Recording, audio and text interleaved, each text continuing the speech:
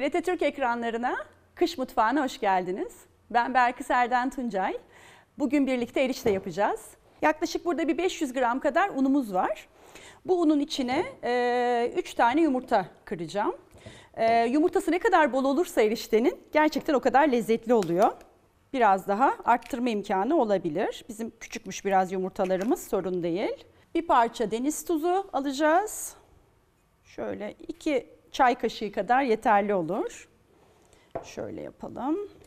Ve başlıyoruz karıştırmaya. Her zaman biraz tok hamurlardır. Çok yumuşak hamurlar olmaz.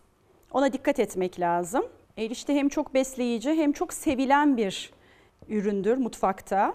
Şimdi biraz böyle bir toplandı gibi hamur. Ben şimdi bunu tezgaha alacağım. Çünkü yoğurmamız gerekecek. Hamur yavaş yavaş kendine geliyor, toplandı. Şimdi ben onu yuvarlak hale getireceğim ve biraz dinlenmeye bırakacağım. Evet hamurumuz dinlendi. Bakalım şimdi nasıl oldu? Kendini toparladı. Bir yarım saat 45 dakika yeterli olacak. Yumuşak, yumurtalı, böyle besleyici harika bir hamur oldu. Şimdi buradaki olay ne aslında? Bu hamuru e, yaklaşık böyle bir yarım parmak kalınlığında açabilmek, büyütebilmek.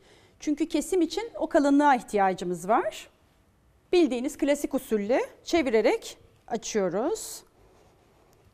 Dediğim gibi dokusu çok güzel olduğu için hamurun gayet güzel işlenebiliyor. Bunu açtıktan sonra kesme işlemimiz var, kurutma işlemi var. Sonrasında istediğimiz gibi kavanozlayabiliriz. Ama ılık bir yerde üzerini örterek benim yaptığım gibi o şekilde bekleyebilir.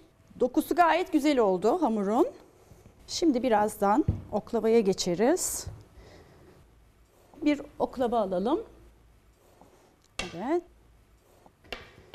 Şöyle biraz da çevirerek şöyle. Tahmini olarak hamurumuz yarım parmak gibi bir kalınlıkta olacak. Yarım parmak bizim için yeterli. Çünkü çok kalın olursa böyle hamur hamur olur. Öyle bir şey istemiyoruz. Fena bir büyüklük olmadı açıkçası. Şimdi bunu bir bez üzerinde dinlendiriyoruz. Çünkü bu şekilde kesersek parçalar birbirine yapışabilir. Biraz böyle dokunarak kontrol edersiniz. Yani şu nemini biraz alacak.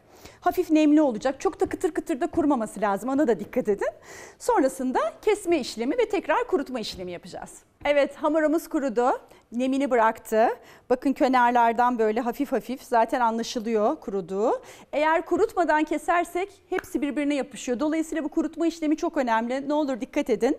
Ee, şimdi hamurumuzu yaklaşık böyle üçer parmak olacak şekilde, iki parmak, üç parmak olacak şekilde şeritler halinde keseceğiz. Sonra o şeritlerden de erişteler yapacağız. Evet. Şöyle şeritler halinde kesiyorum. Burada size kalmış. Biraz daha kalın şeritler olabilir, biraz daha ince şeritler olabilir. Her şekilde mümkün. Şimdi bunları da tek tek biraz unlayacağım ki keserken birbirine yapışmasın. Üst üste koyacağız. Şimdi yaklaşık olarak şöyle 3-4 tanesini hemen böyle bir unlayacağım. Size göstermek için. Geri kalanını ben sonra hemen devam ederim. Şöyle, şöyle, şöyle mesela. Dört parça yaptık diyelim. Şunu kenara alalım. Buradan keselim. Çok bastırmadan kesersek yapışmayacaktır.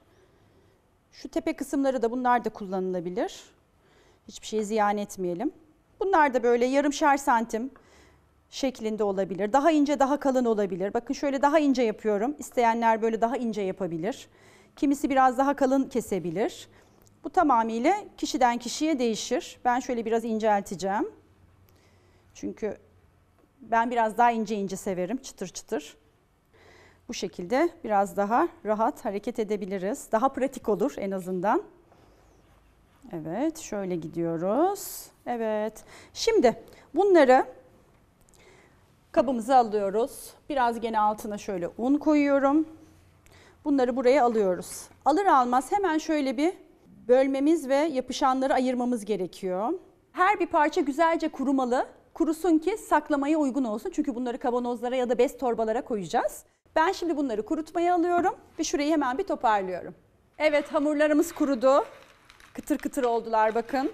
İçinde hiç nem kalmadı. Nem kalırsa uzun vadeli dayanmayacaktır. Lütfen buna dikkat edelim. Isı ve nem geçirmeyen bir kavanoza koyuyoruz. Böyle ağzı kilitli bir kavanoz.